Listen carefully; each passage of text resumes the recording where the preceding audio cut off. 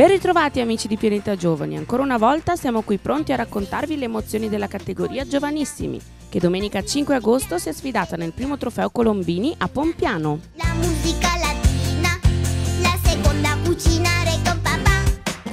Un bel giorno per non buttare niente, ho mischiato le specialità.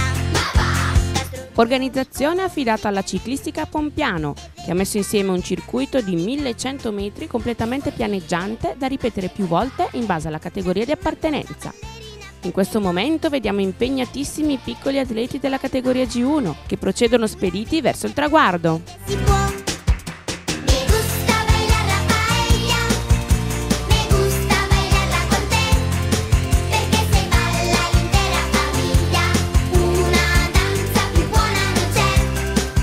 Tutto è pronto per accogliere il primo arrivo di giornata, con la vittoria di Codenotti Simone della Ronco davanti a Fusi Massimo del Team Nuvolento, Poiani Gabriele Borlotti Simone della Monte Clarense e Zeni Fabrizio Angelo della Springhedi.